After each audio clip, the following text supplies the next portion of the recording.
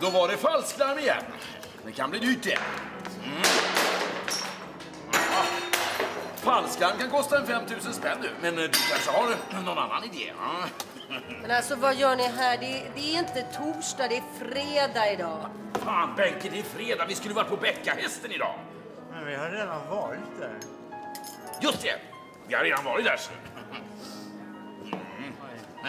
Du är snäll du. Ja. Titta. Ingen krök utan eld, som jag brukar säga. Låt mig få tända ett ljus.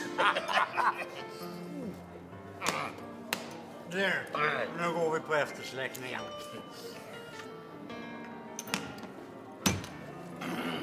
Fan glor